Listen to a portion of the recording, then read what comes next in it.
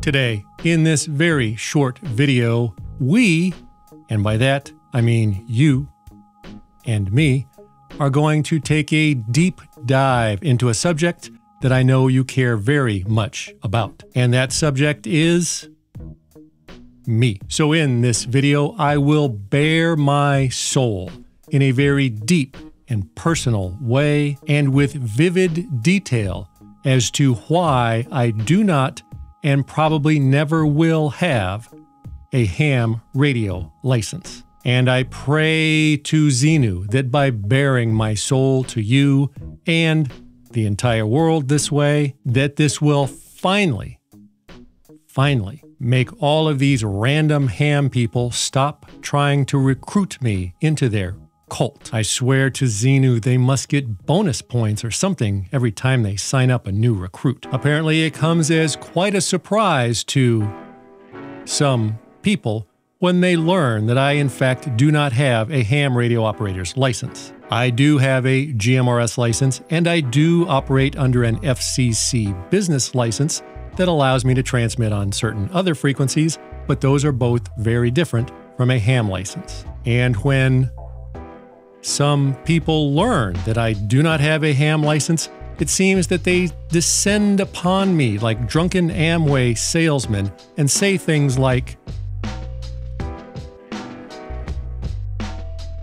But you love experimenting with radio equipment. You should get a ham license. And this is true. I do love playing with my GMRS radios and other radio toys, but newsflash, you do not need a ham radio operator's license to do that.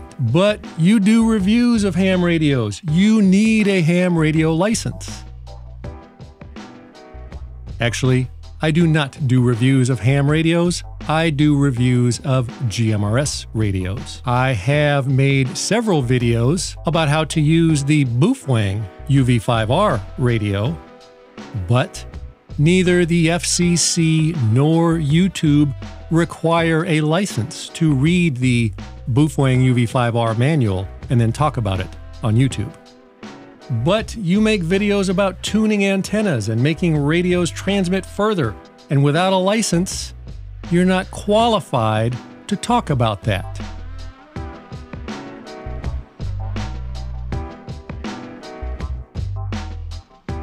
Seriously? Allow me to point out something to the many people that have actually said that. Anybody that seriously thinks that you need a license to understand how radios or antennas work, and more so to anyone that actually says that out loud where other people can read it or hear it. Anyone who really thinks this is, allow me to just say it, and listen very closely. Are you listening very closely? Anyone who says this is a fucking moron. And of course, my favorite, mentioned many, many, many times by people with very eager excitement as they type it out in YouTube comments or on Facebook or Twitter. With a ham license, you can use much more power and make contacts thousands of miles away.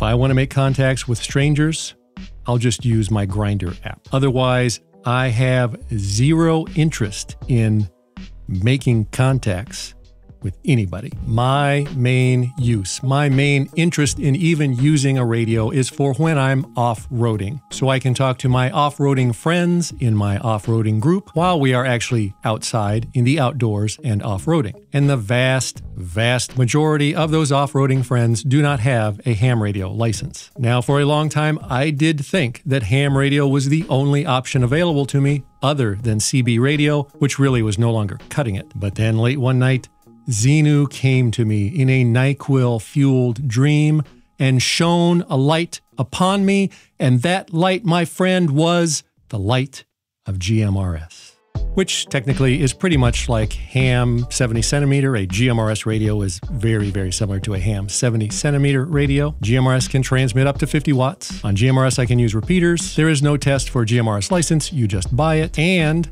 Someone can just go to Walmart and get a $20 FRS radio, and they don't even need a GMRS license. And then I can still talk to them, and this is something that comes in very, very handy when I'm outdoors in the real world off roading with large groups of people. So, having a ham radio operator's license is not going to help me talk to my friends while I'm off roading in any way. And having a ham radio operator's license is not going to enhance my life in any way. Because, again, if I want to talk to strangers, I've got the internet and Grindr. And while it is true that ham radio might, might give me more options and more ways to call out for help in the event of an emergency while I'm off road, depending on where I am at the time of said emergency. But Xenu has taught me that in the event of a life or death emergency, when no other means of communication is available, I do not need a ham radio operator's license to call for help on a ham radio frequency. And besides,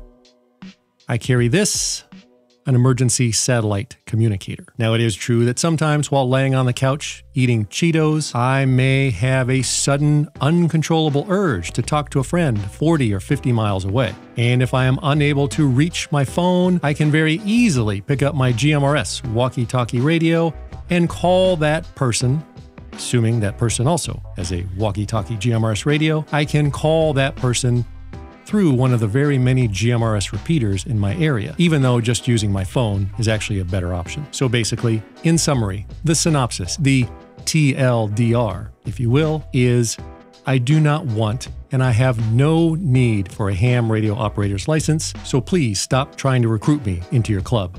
I'm not interested.